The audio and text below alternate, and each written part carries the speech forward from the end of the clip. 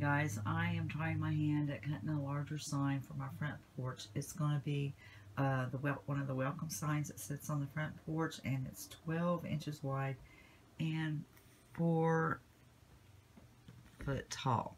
I um, did paint the board kind of an off-white and done a little distressing with paint on it. And this one's going to say W-E-L-C and the O is going to be the shape of a pumpkin, and then M-E.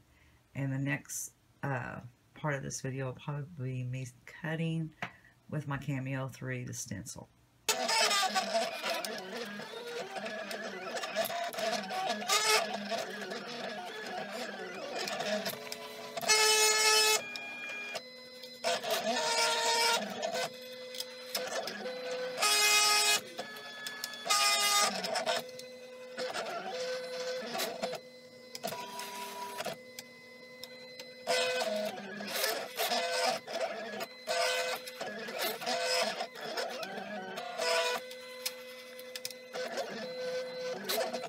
Okay, here I am working on putting it the uh, stencil down.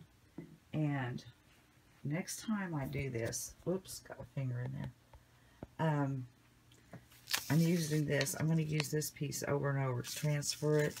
But I'm having to cut them into pieces, you know, in strips. So it's easier. I don't have to use a big, waste a lot of my transfer tape.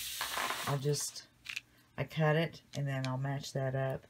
Put the transfer tape over the C and then put it down and continue on down doing that with each one of these. But next time I, I know on my software, I'll try not to make you dizzy, um, I'm going to make cuts with my knife on each one so it will be cut individually and straight and even and that will make this much easier putting down. Live and learn. Okay I'll show you when I'm finished. Okay, here's what I meant by putting the transfer tape on. I put the transfer tape over the, the C and I'll take the backing off and then I will match it on here. And that way it holds this all together the insides. You'll it's hard to put transfer or put these down because pieces in the middle, like the C, come up and like on this E. This holds it all together so I can get it on the board. And I'm doing it individually to make it easier. Thought I'd come back and explain myself a little better on that one. Okay, I have it down on there with the transfer tape. Now I'm going to show pulling the transfer tape up Well, that down. Doing this one-handed is hard. That's why I, okay.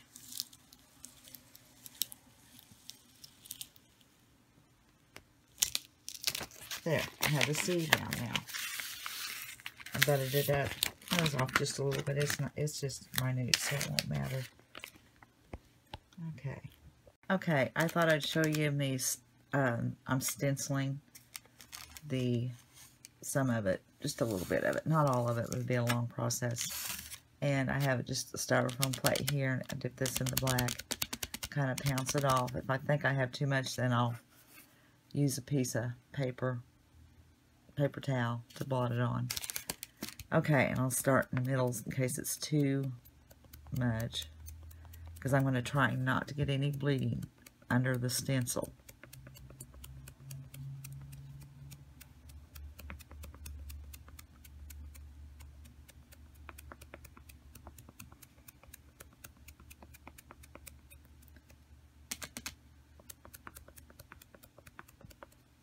I'm just using a makeup sponge here and just regular black acrylic paint. And every time I bounce, I think my camera's bouncing. Okay, anyways, I finished this out and show you how it looks. I think I'm going to have to switch out sponges. For some reason, I'm getting little marks be careful and not let it bleed under the tape. And here's some I've already done. Oh. And I'll show you a little bit when I pull it, when I start pulling them off.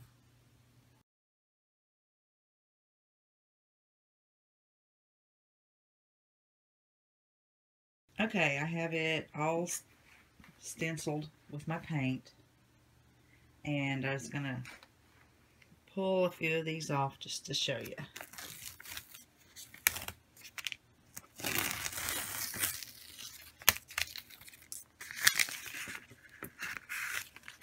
There's the W. I guess I'll go this way. Tell a little more.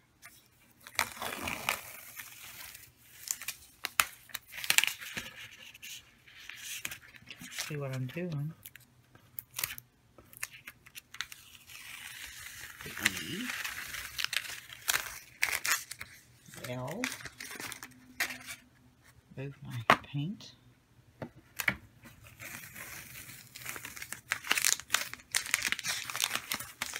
C. Something is an O. Or the O is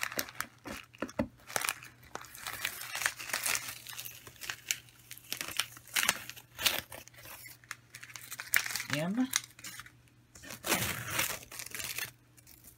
and my E.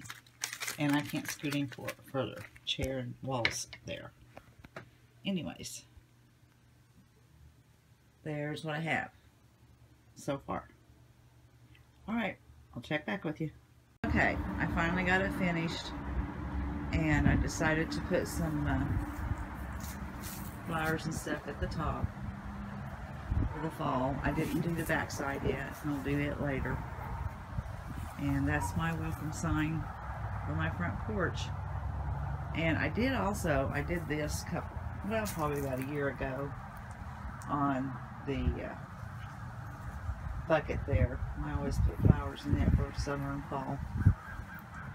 And this one over here, I done that probably I would say 10 years ago. I do have to renew it every so often, paint it, and put stuff on it. But yeah, did that too. So there's the way it turned out.